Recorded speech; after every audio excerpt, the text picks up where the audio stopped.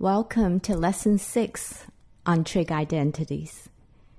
In Lessons 4 and 5, we learned the identities for sine and cosine of a sum. Two useful double angle identities follow from those. Here they are. By the way, Greek letters are often used to denote angles in calculus. Let's derive the sine of 2 theta.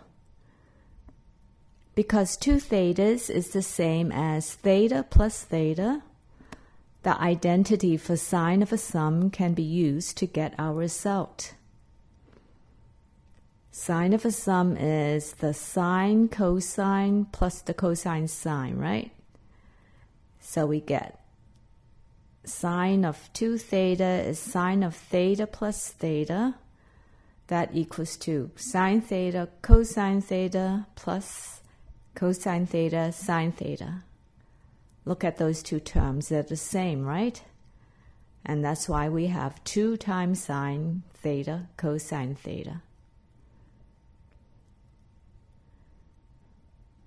Next, let's derive cosine 2 theta is cosine squared theta minus sine squared theta. Cosine of a sum is the cosine cosine minus the sine sine. So for cosine 2 theta, we have cosine theta plus theta is cosine theta cosine theta minus sine theta, sine theta. And here's our result cosine squared theta minus sine squared theta. Easy, right? Now, if you know our famous trig identity well, sine squared plus cosine squared is 1, you can see why cosine 2 theta can be expressed in two other ways using just sines and cosines. So let's do that.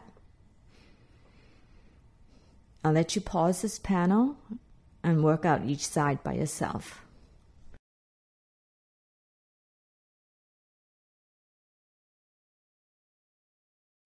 As a result, the double angle identity for cosine has three formats.